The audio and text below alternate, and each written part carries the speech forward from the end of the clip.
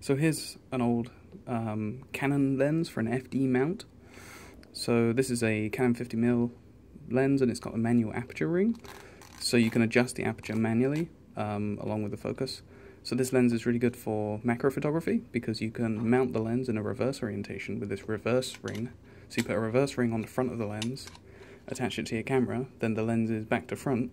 That means that you've got when you've got a small object here, it gets magnified to fill the sensor on the other side.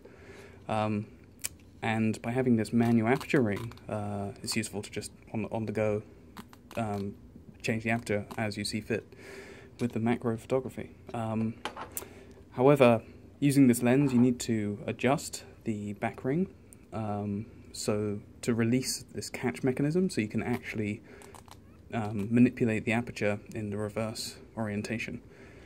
So as you see here, um, you see the aperture down there.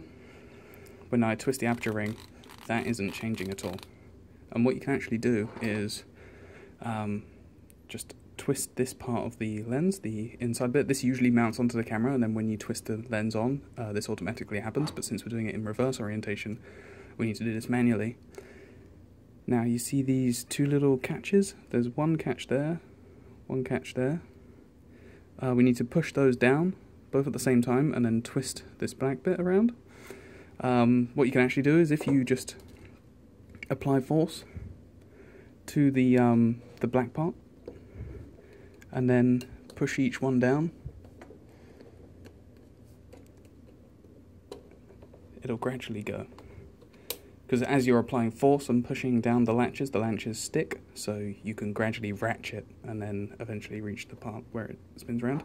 So now you'll see that the aperture is uh, fully open. Um, so this, where are we at?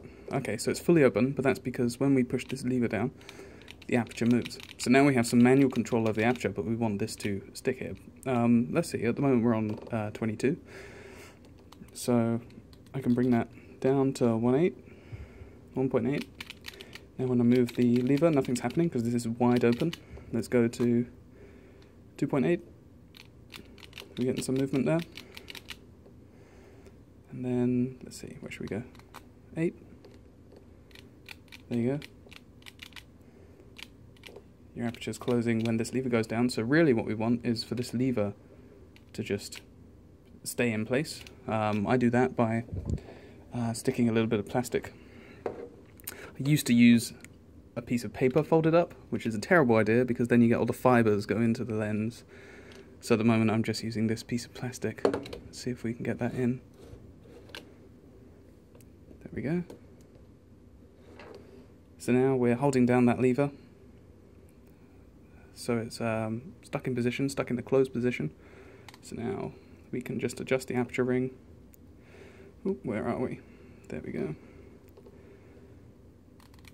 And that aperture is going to move around as we desire and stay stay wherever we leave it. So there you have manual control of the aperture in a reverse mount orientation for your macro photography.